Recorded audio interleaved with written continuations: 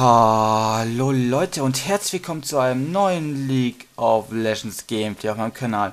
Heute mal wieder mit einem neuen Gameplay in der Preseason 5. Wie könnte es noch anders sein? Heute könnt ihr mich mal wieder als guten Vladimir in Aktion sehen. Was heißt hier wieder, das ist das erste Vladimir Gameplay, glaube ich, auf meinem Kanal. Von daher, ich habe keine Ahnung, vier Master-Spieler, okay. Das ist natürlich dann wiederum ein sehr interessantes Spiel, oh mein Gott. Ich spiele First Time Vladimir. Das war auch ein Vorschlag einer meiner Abonnenten und dann habe ich gedacht, ja, geben wir mal den Vorschlag nach. Und dann spielt man erstmal gegen vier Master-Tier-Spieler. Das ist natürlich klasse. I'm retard. Na super Partie und Brain Freeze. Ich habe gar nicht auf die Namen geachtet, um ehrlich zu sein. Gegen was spiele ich denn auf der Top-Lane? Gegen Quinn. Okay. Das macht Spaß. Und ich bin gerade am überlegen, mit was ich starte am besten. Äh, ich denke mal mit sogar Boots. Ich starte einen Boots einfach mal. Mal sehen, wie es wird. Und ihr seht schon, Callista ist am Gegnerteam, das heißt, sie ist auch schon seit längerer Zeit draußen. Wenn ich mich richtig entsinne, kam sie letzten Donnerstag raus. Ich bin mir da nicht so sicher. What makes you think we are good? Server ist down, also kaputt. Das war die Frage, ähm, warum der TS nicht funktioniert. RAM durchgebrannt. Okay, hat sich erledigt. Jetzt weiß ich wenigstens den Grund. Das kann auf jeden Fall sehr interessant werden. Also eine, eine, illustre Runde.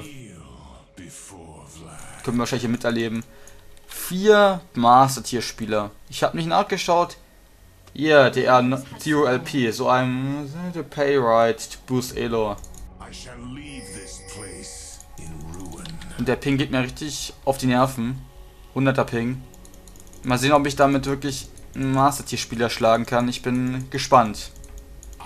Insbesondere, weil ich auch zum ersten Mal wieder seit längerer Zeit Vladimir spiele. Aber Vladimir ist ein relativ genialer Champion, macht Spaß. Ist relativ aus der Mitte rausgefallen leider, vor allem weil er kein CC besitzt. Und daher auch nicht wirklich profitiert vom Teleport. Was wiederum gut ist, ist, die Quinn hat kein Ignite dabei. Das wird jetzt schön. Und das wäre sehr interessant, wie sie mich harassen wird. Komm, komm. Danke. Das Last-Ding mit Vladimir ist verdammt schwer. Der hat ja auch gerade mal nur 48 AD, wie ihr sehen könnt. Ja, ihr seht schon. Ja, das war irgendwie klar. Ich weiß gar nicht, wie viel Range Quinn hat. Ich spiele so selten gegen eine Quinn. Daher verzeiht mir, falls ich hier mal des Öfteren etwas weniger rede, weil ich mich ja extrem konzentrieren muss. Ist ja immer noch Master-Tier-Spieler. Und jetzt hat sie... Ja, war klar. Das war dumm von mir, um ehrlich zu sein. Ich lasse mich jetzt einfach mal in den Tower pushen, bis ich mal mein Level 2 bekomme und werde freezen. Und da... Wunderbar. Jedenfalls, man muss sich hier... Komm, komm, komm. Okay. Nochmal. Wunderbar. Verlente ich unter den Tower verdammt viel CS. Bottom, Amumu Support overpowered.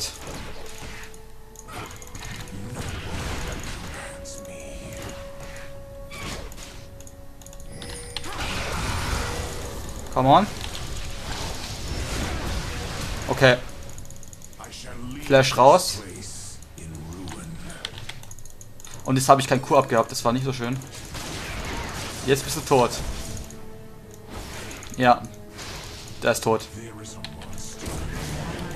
Der hat nicht so lange warten sollen.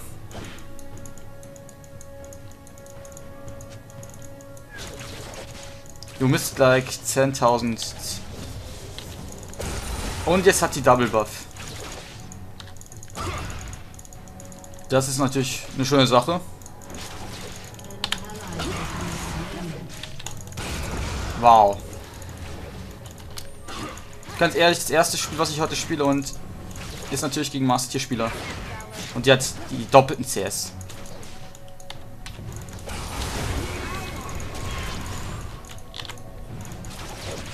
Ja. Oh man, das wird auf jeden Fall sehr interessant werden, wie das Game sich entwickeln wird. Ich glaube nicht allzu gut, aber das war irgendwie auch verdammt schlecht von mir. Ja, ja, man sieht auch schon, der Double Buff der richtet einiges an.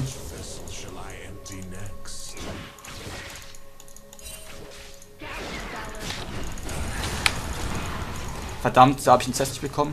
Und ihr merkt schon, ich muss mich... Ja, ist weg.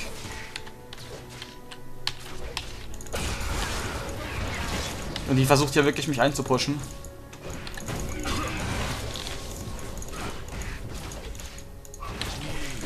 Ich versuche hier einfach bestmöglich an der Tower zu farmen. Was leider nicht unbedingt klappt. Das ist echt... Oh, das ist extrem fies, gerade das zu spielen. Das macht überhaupt keinen Spaß. Insbesondere auch mit dem Hyping. Und gegen eine Quinn, die Double Buff hat. Das ist so unangenehm. Das glaubt ihr gar nicht. Und ihr seht schon, wir werden auch klar dominiert. 0-5. I'm done with this Draven.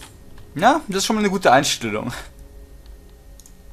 Vier Master-Tier-Spieler. Und hier, man sieht auch schon die CS-Verhältnisse. Ich habe 29 CS. Na gut. Mit Vladimir unter den Tower zu farmen ist auch nicht sonderlich einfach. Kann man zu sagen. Man braucht auf jeden Fall immer den Q ab. Ja, da habe ich hier mal... Ja. Der Q ist ja wirklich auch der Main-Spell von Vladimir und sollte man natürlich auch maximieren. Ganz normal. Und gleich kommt sie wahrscheinlich auf die Lane. Die gute Quinn. Ja, da ist sie auch. Oh mein Gott.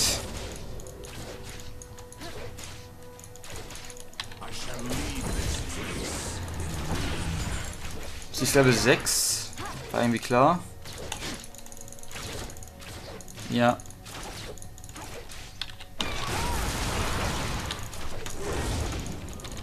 Gut, ich flash da, ich muss da flashen. Pantheon kommt natürlich Top-Lane, wenn ich einmal ein bisschen rauskomme. Das ist natürlich auch eine tolle Sache. Und da habe ich, ehrlich, der CS ist echt abartig momentan. Ich kann absolut nichts machen. Ja, Quinn, ist in Ordnung.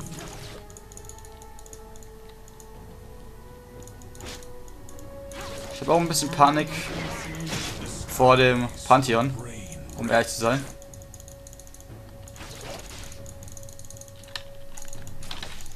Und ich harass die auch nicht richtig, das das Problem.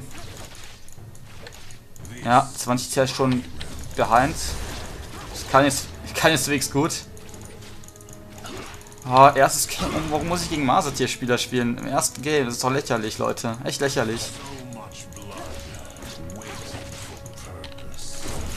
So geht das eigentlich relativ gut. Ich muss einfach nur down to rest. Die hat keine Healpots.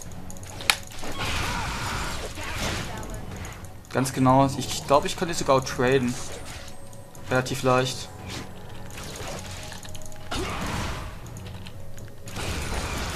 Ja, so vielleicht nicht unbedingt.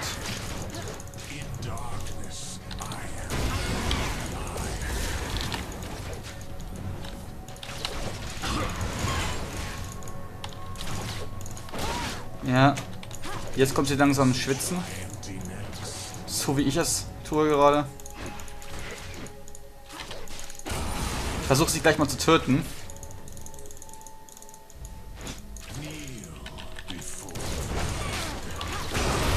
Die ist tot.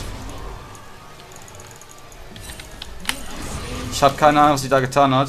Das war verdammt risky und das war komplett behindert von ihr. Also ganz ehrlich, das war, ich habe keine Ahnung, was sie da versucht hat. Die wurde, glaube ich, da ein bisschen arrogant in der Situation. Ich habe zwar verdammt wenig CS, wie ihr sehen könnt. Oh Gott, das Last-Ding.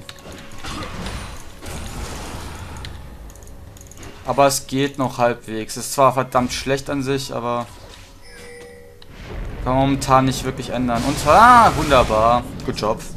GP.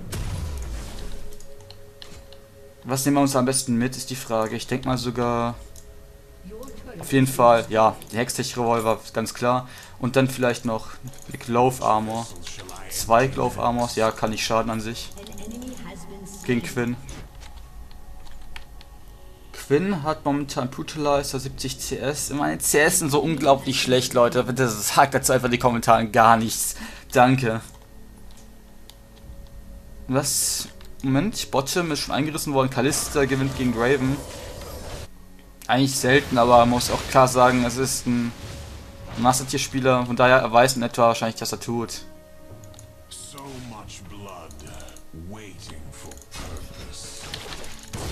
Mal sehen, ob er jetzt mich harassen möchte. Ja, da pusht er ein.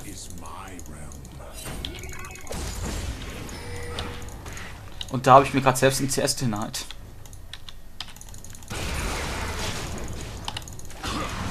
Ich muss auf jeden Fall ein bisschen dagegen pushen, sonst verliere ich jetzt CS. Der Trade war sogar negativ, sehe. Aber richtig negativ.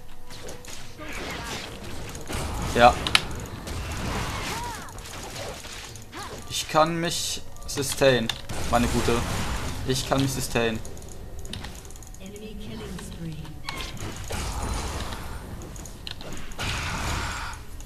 Und warum habe ich da jetzt nicht einen Autotech nachgesetzt? Ich habe keine Ahnung.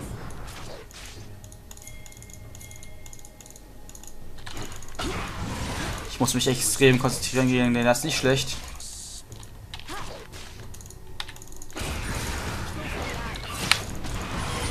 Komm.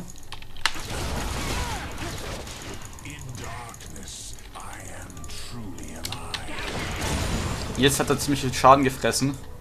Noch einmal so eine Aktion, er ist tot.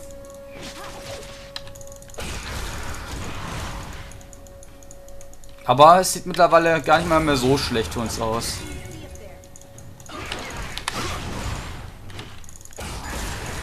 Meine CS gehen jetzt auch langsam wieder nach oben.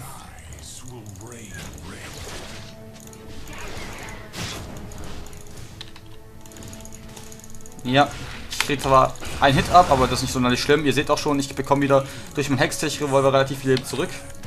Und durch meinen Q. Jetzt langsam läuft's, aber sicher. Langsam aber sicher läuft's. Ich glaube, sie ist sogar weggegangen. Ja. War irgendwie klar.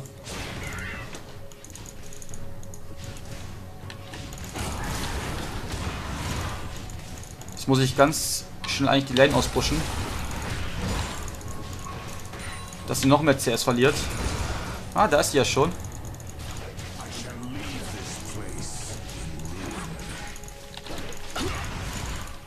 Na gut, jetzt gehe ich auf jeden Fall back vorerst. Ich denke mal, ich kaufe mir jetzt erstmal mein Vor-Item zum Hourglass. Dieser komische... Ich weiß gar nicht, was ist das für ein Item nochmal? Ja, sie wollet. Ich soll einfach mal pushen und ich werde einfach mal dieses gute Item kaufen. Ward auf jeden Fall. Vielleicht kaufe ich mir auch Ninja Tabis gegen das Gegnerteam. Die haben nämlich fast ausschließlich nur AD Champions. Ihr seht schon Pantheon, Yasuo und Quinn Toplane. Und das Problem einfach, ich habe keinen Teleport, das heißt, ich kann den anderen Lanes nicht wirklich helfen.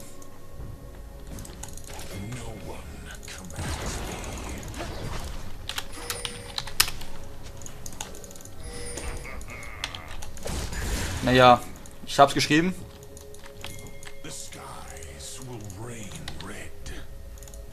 Ah, dieses Last-Ding mit Vladimir ist nicht schön.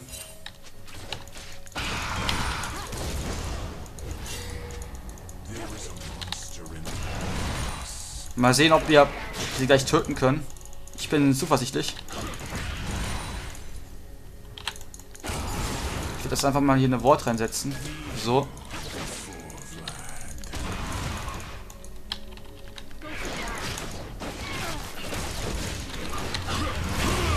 Okay.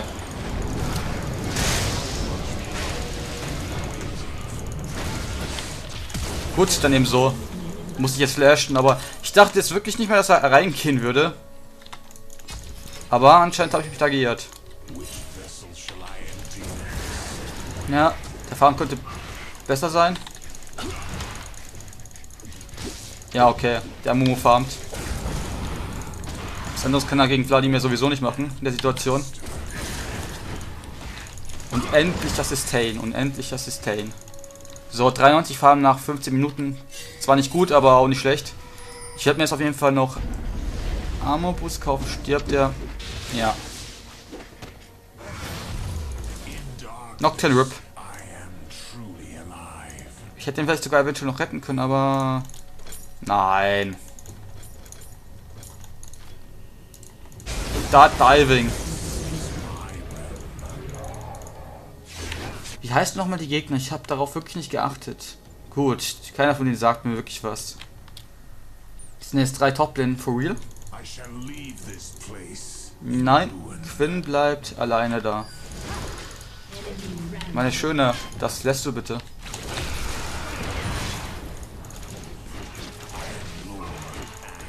Danke.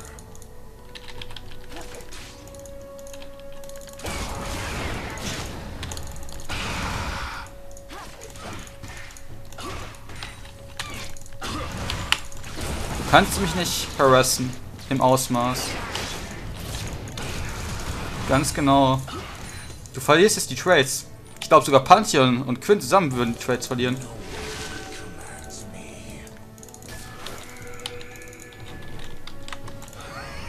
Ja. Also Pantheon kann mir sicherlich auch keine Parole mehr bieten. Garantiert nicht. Jetzt habe ich den Punkt erreicht, wo Vladimir nicht relativ lächerlich wird.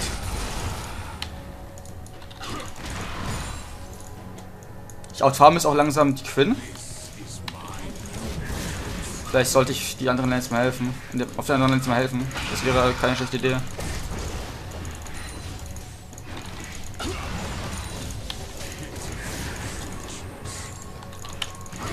Gut. Ähm, eventuell. That's the work of the Raven. Ich sollte wirklich, glaube ich.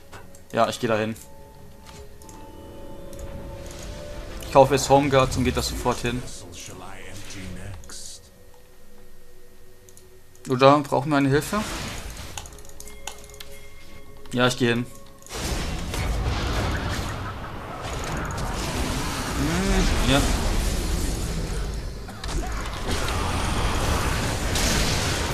Ganz genau. Wunderbar. Hat geklappt, so ich es wollte in etwa.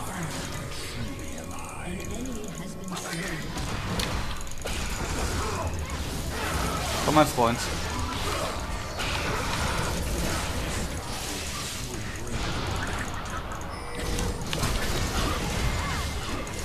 Wunderbar. Rampage. Toplane Tower ist gefallen, aber dafür haben wir relativ viele Kills gemacht. Hat sich daher auch relativ gut gelohnt für uns. Vier Kills jetzt insgesamt. Jetzt gerade habe ich zwei Kills gemacht im Fight. Das ist echt nicht schlecht gewesen. Stack Armor, I guess. Mache ich schon. Oh, da ist sie tot, die Ari.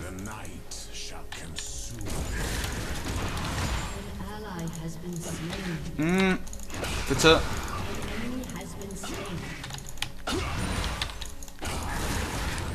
Ja, den will ich, den haben. Danke. Es ist wirklich gerade ein bisschen anstrengend, dieses Game zu spielen. Aber langsam geht auch wirklich wieder voran mit den CS. Äh, Draven ist gestorben. Dumm.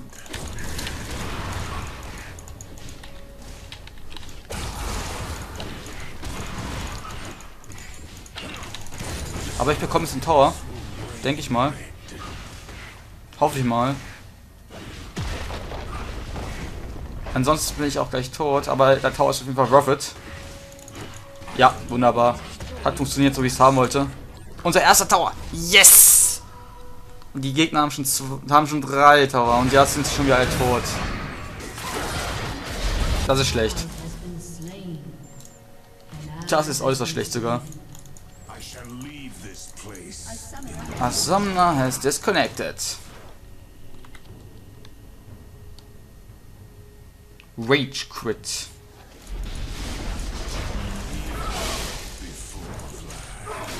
Also merkt schon, der hat schon ein bisschen Erfahrung. Ja.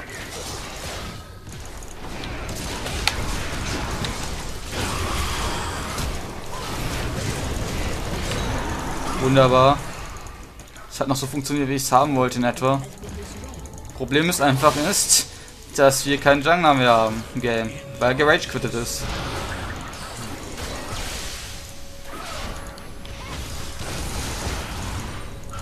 Wrecked. Ich hoffe es einfach mal, dass unser Jungler nach einer Zeit wieder zurückkommt, ansonsten haben wir es wirklich verloren. Das wäre wirklich sehr bedauerlich. Weil das Game... Ja, da ist er schon wieder. Okay, dann passt hier. I ask you. He literally just did it. Und sie ist tot. Oder auch nicht. Ganz ehrlich, Leute. Yes, immerhin. But... Mal sehen, ob wir es da erreichen können. Ich habe jetzt auch mit Sionia das gekauft. Das ist ein relativ wichtiges Item in diesem Game.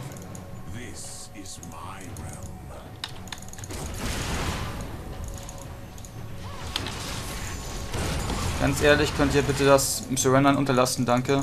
Das macht keinen Sinn. Man muss einfach nur hier Armor stacken, das war's schon. Verstehe jetzt nicht die Tragik dahinter. Ganz ehrlich.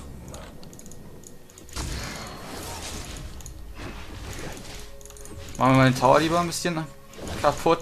Vielleicht bekommen wir ihn sogar. Das wäre Erfolg.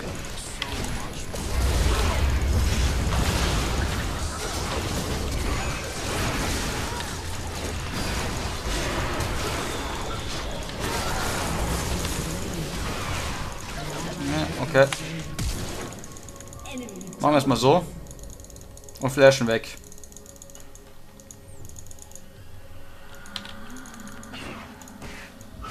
Unser Jungler hat irgendwie nicht so die ganz große Macht.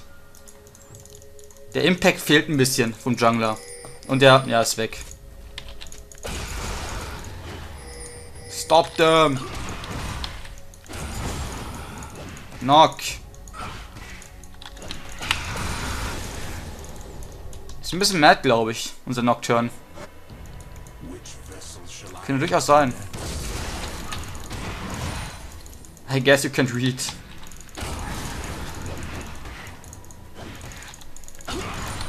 Ja, auf jeden Fall, war, ja, der ist weg. War mir klar. Aber zum Glück hat der Baron nicht mehr ganz so großen Impact wie früher. Der Drake ist da schon eher wichtiger. Jetzt meine persönliche Meinung dazu, aber ich finde schon, dass er ein bisschen mächtiger ist, der Drake. Vorerst jedenfalls. Mal sehen, ob da noch Änderungen vorkommen im nächsten Patch.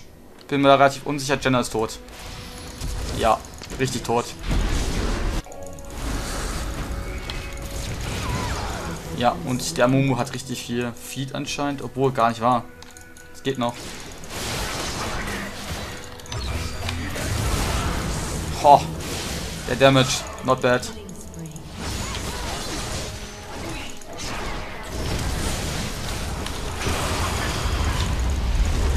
Gut, probieren wir erstmal aus.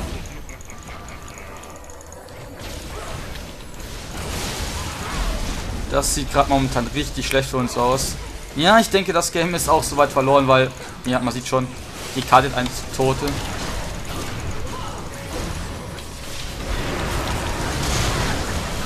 Ja, wunderbar. Gut, da hatte ich noch ein bisschen Glück, dass ich da rausgekommen bin, aber ich hatte noch im Notfall Zionias. Notfall auf jeden Fall.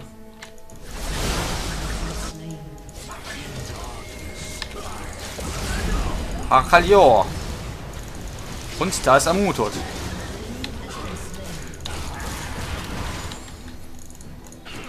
Vielleicht sollte man mir einfach den Feed lassen hier. Wäre keine schlechte Idee. Oh ja, der Drave hat einen Kill bekommen. Richtig gut. Und ich habe wenigstens die Quinn outfarmt. Das freut mich. Na okay, als Vladimir keine Besonderheit, aber trotzdem freut mich schon ein wenig. Vielleicht ist ja Drake ab. Das wäre mal eine schöne Sache an sich. Sieht aber nicht danach aus. Ja, war klar. Schade.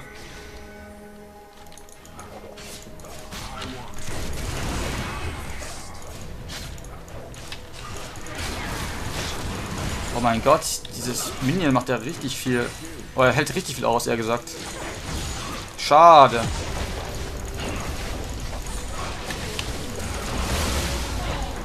Sie stirbt, wenn sie das so weitermacht. Chakalio. Ja, okay. Ja. Nocturne spielt nicht mal wirklich mit, glaube ich. Das ist schlecht. Sehr schlecht sogar. Und der Drake ist ab. Drake ist done. Die haben schon mittlerweile zwei Drakes. Ja, das Game ist an sich wirklich done. Jungle hat in diesem Game nicht wirklich viel Impact für uns.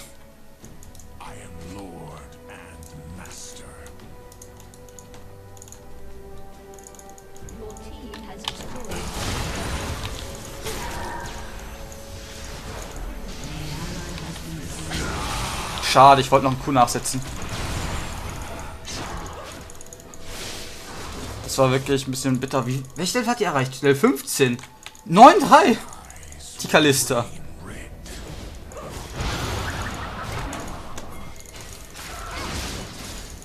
Taste nicht mal, nicht schlecht. Und dieses Kiting-Potenzial von diesem Champion ist einfach wirklich... eBay Diamond Raven strikes again. Ich muss Toplane halten, versuchen zu halten. Ich weiß nicht, ob ich die Quinn noch weiter aufhalten kann. Ich bin mir sehr unsicher.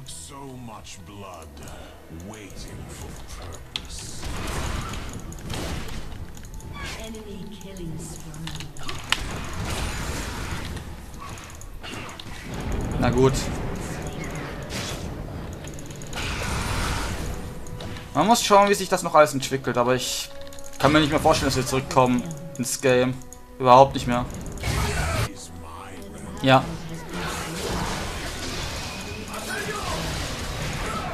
Glück gehabt.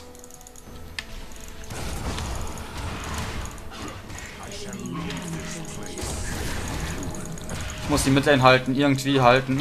Aber das sollte eigentlich als Vladimir jetzt nicht so das ganz große Problem sein. Ja. Und da ist sie down. Wow, das war eine richtig gute Reflex von ihr. Das war echt nicht schlecht. Ja, bekommen die noch einen? Nein. Versuche jetzt einfach mal die Lane komplett auszupushen, dass ich wieder andere Dinge unternehmen kann.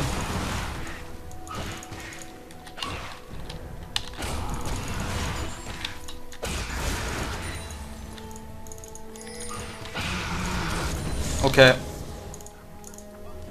Da ist der Dragon nochmal tot. Der steht mittlerweile ähm, 4-12. Was macht der da?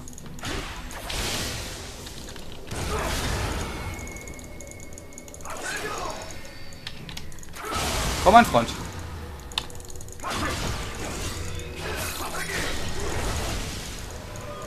Ja, gut. Er hat mich hundertprozentig geholt, wenn ich das nicht gemacht hätte. Wow. Wow, ist ja mal... Boah, Damage. Ich sollte auf jeden Fall mal Pack gehen und mir eventuell mal Items kaufen. Und die Jenna sollte vielleicht nicht so weit engagen. Okay, das war's.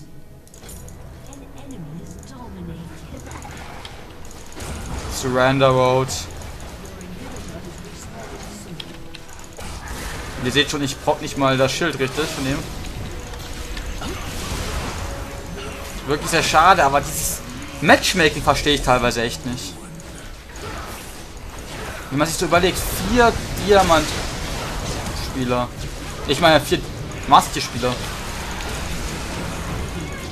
Will sie mich töten?